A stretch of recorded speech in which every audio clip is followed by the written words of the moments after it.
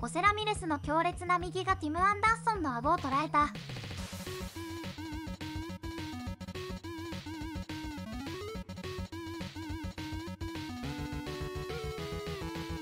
ファイティングポーズ取るまで誰も止めないの初めて見た。大爆笑。こんなん見れるなんて信じらんね。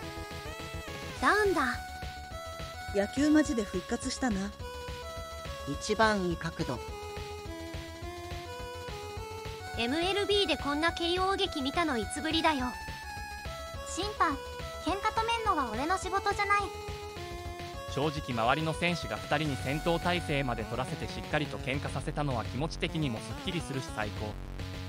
お前らベンチから出てくんな。最後までやらせろ。ラミレスがアンダーソンを KO する瞬間を見た全 MLB ファンおめでとうティム。君は永遠にミームと化した。これアンダーソンもう立ち直れないぞ。新しいオドア動画が誕生した。